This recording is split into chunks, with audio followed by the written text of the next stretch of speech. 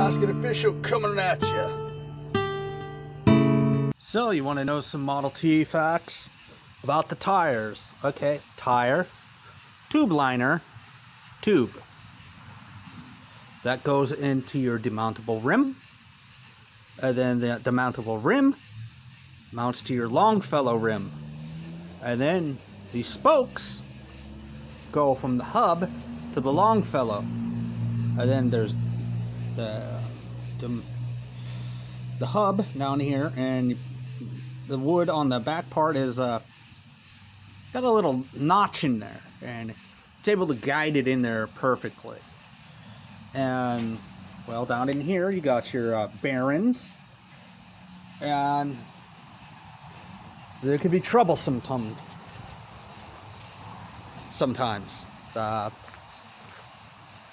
the T stuff because of uh, those little tiny bearings you get one out and you don't have proper grease to pack them in there properly you're going to be struggling all day trying to get those perfectly right. So it is troublesome when you have to have it.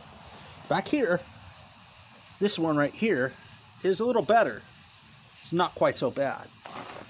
Uh, this is your oiler right here. That's how you put your oil in and then I put oil in there. So it keeps it nice and greased I put some white light in grease. That way it turns out just perfectly. But down here there's your uh, dust cap. Uh, they make reproductions so you can get it all nice and pretty. But anywho that is pretty much when it comes to a Model T wheel facts pretty much